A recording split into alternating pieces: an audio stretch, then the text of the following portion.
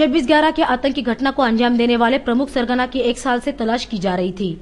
आखिरकार 21 जून को इंदिरा गांधी अंतर्राष्ट्रीय हवाई अड्डे से आतंकवादी अबू जिंदाल हमजा को गिरफ़्तार कर लिया गया। हमजा की गिरफ्तारी के बाद मुंबई पुलिस पूछताछ के लिए आतंकवादी हमजा को अपने कब्जे में लेना चाहती थी, पर दिल्ली की अदालत ने अबू जिंदाल को मुंबई पुलिस की हिरासत में देने से साफ़ इनकार कर दिया है। हमजा से दिल्ली पुलिस की विशेष शाखा पूछताछ कर रही है, लेकिन मुंबई पुलिस किसी भी सूरत में अबू हमजा को अपनी हिरासत में लेना चाहती है।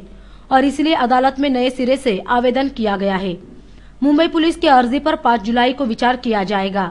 इसी विषय को लेकर जब वरिष्ठ वकील उज्जवल निकम से बात की गई, तब उनका कहना था, अबू जिंदालला मुंबई पोलिसांकडे ताब्यात देण्यास दिल्ली नकार दिलेला नाही.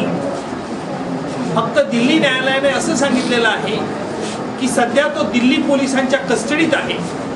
दिल्ली पोलिसांचा तपास पोलीस कस्टडीतला संपल्यानंतर तो मुंबई पोलिसांना मिळणार आहे. आणि मुंबई पोलिसांना मिळाल्यानंतर मुंबई पोलीस त्याची चौकशी करून तो अबू जिंदाल काय सव्वीस साखराच्या दहशतवादी हल्ल्याबद्दल काय नवीन माहिती देईल त्याबद्दल मुंबई पोलीस तपास करून आरोपपत्र दाखल करण्याची शक्यता आहे.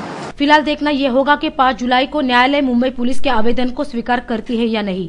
वैसे अबू हमजा ने अब तक उसके तार कहाँ कहाँ जुड़े हैं और क्या था अबू हमजा का प्लान वैसे अबू हमजा ने अब तक उसके तार कहाँ कहाँ जुड़े हैं और क्या था अबू हमजा का प्लान इसके बारे में पुलिस को जानकारी दी है। करनाला टीवी के लिए गोपाल शाह की रिपोर्ट।